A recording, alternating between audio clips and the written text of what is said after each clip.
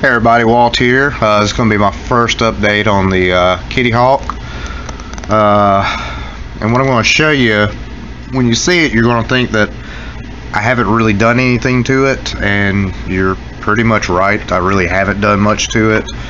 Uh, but this is the, the planning stage.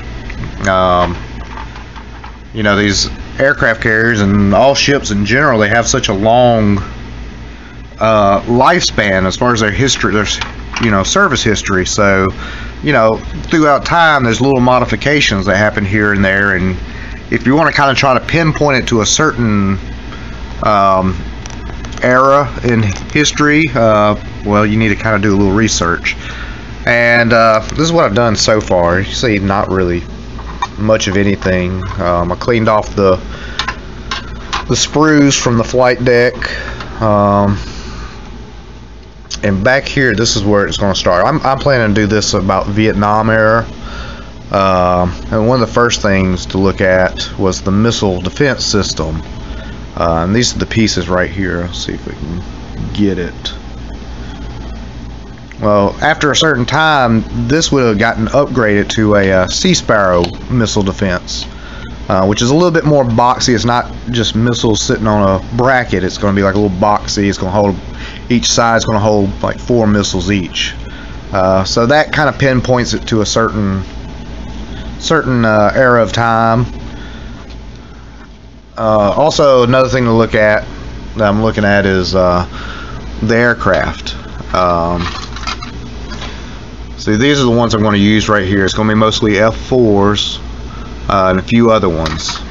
And I have these two sprues right here planes, which I'm not going to use. I'm going to have uh, F-14s, F-18s, and so these aren't even going to get used. So the mainstay of this uh, ship's going to be a be the F-4s. Um, one thing I will point out on this, as far as this is as far as the manufacturer, uh, which is done by Academy. Um, Flight Deck had a, quite a bit of uh, sprues to it, you know, wrapping around the flight deck.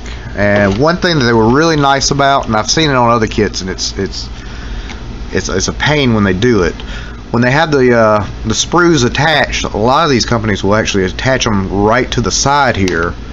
Um, you see, this is like enclosed railing, and you lose some of this uh, railing detail. Uh, Academy was nice enough that when the uh, when the sprue hits the actual flight deck it was mounted on the top. So really all you're really having to do is just clean up this top on the you know right on a straight line. So X-Acto knife did it just fine. So that's one nice thing about this Academy kit. Um, other than that uh, not too much going on. I've put a couple little bits and pieces in here.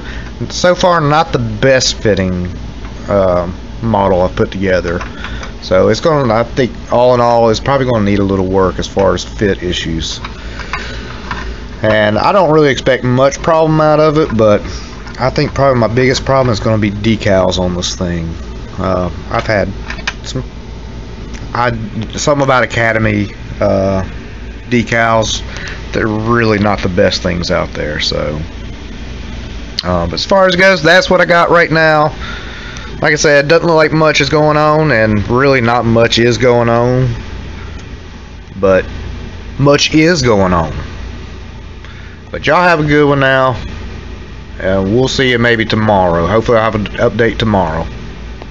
Storms are coming, Paul.